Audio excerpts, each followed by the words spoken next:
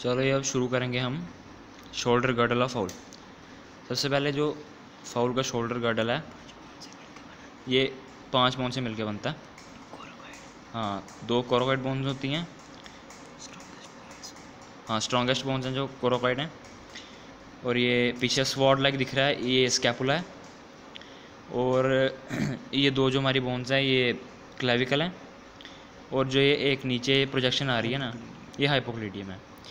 और ये जो आप देख रहे हैं इतना पूरा पोर्शन यानी कि ये यहाँ से लेके ये वाला इसको हम बोलते हैं फर्कुला और विश बोन ये वाला देख रहे हैं जो नीचे से लेके यानी कि क्लेविकल बोन प्लस हाइपोक्लिडियम को हम बोलेंगे फर्कुला और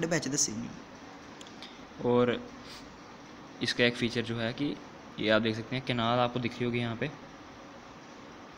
यहाँ पे ये दिख रहा है ना? इसका नाम ट्राइशियल केनाल है ट्राइशियल इसलिए क्योंकि ये तीन बोन्स के बीच में यानी कि स्कैपुला कोराकॉइड और क्लाविकल के बीच में है ना ये कैनाल तो इसलिए इसका नाम ट्राई मतलब तीन और ऑशिस मतलब बोन यानी कि थ्री बोन्स के बीच में जो कैनाल है, उसको हम बोलेंगे ट्राई ऑशिस केनाल